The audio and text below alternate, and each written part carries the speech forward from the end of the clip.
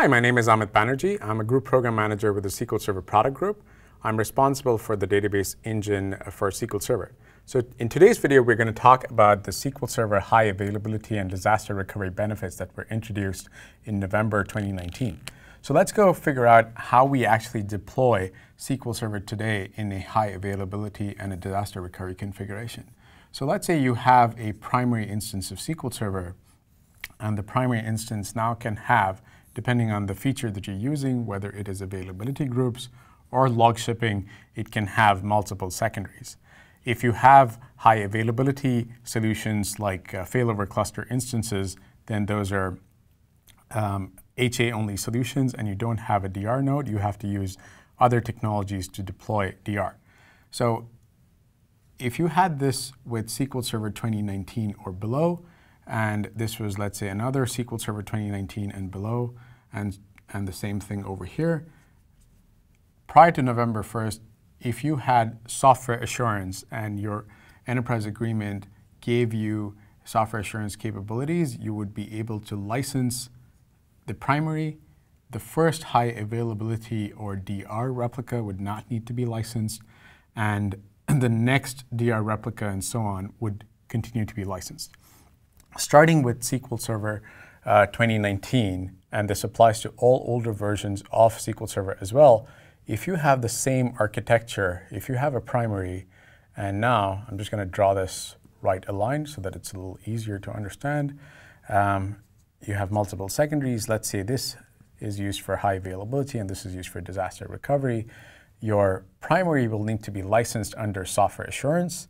Your first HA replica, which is synchronous in nature and supports automatic failover, does not need to be licensed, and the disaster recovery replica also does not need to be licensed. So let's figure out what that actually means. So let's say this had 32 cores, and you had 32 in each, just to make it simpler.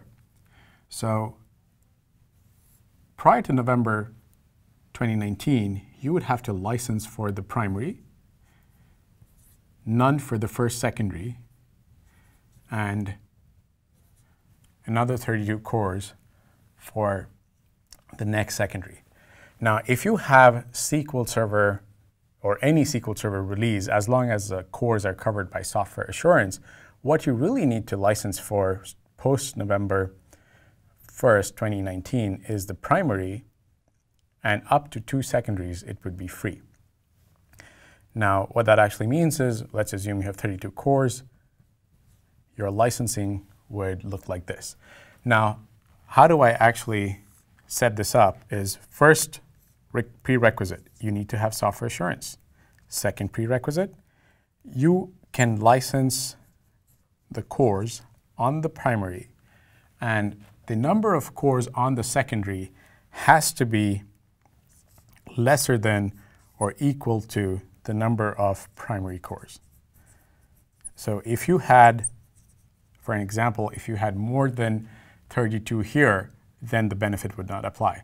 So essentially, for each core that you license, for each core that you license for SQL Server post-November and you have software assurance, you get one HA core, which is synchronous, one DR core, and in addition to that, you also get another DR core running on Azure VMs.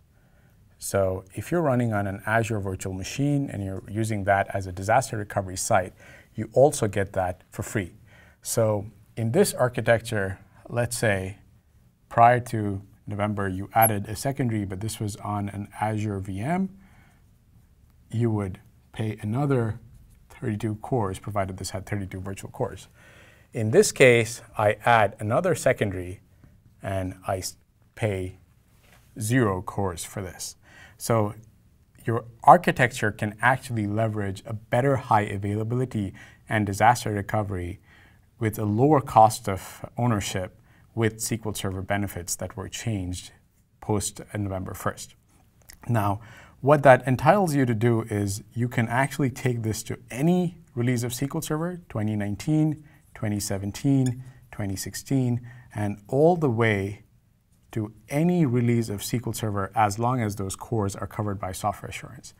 And if you have a architecture which is, let's say, a physical machine, so if you're on bare metal, you get that. If you are on virtual machines, you also get this benefit. If you're in containers, you also get this benefit. So whether you're using SQL Server on a physical data center or you're using uh, SQL Server in virtual machines or you're using Azure as your DR center and you are actually hosting your primaries on premises, you will have a DR benefit covering your SQL Server replicas on Azure.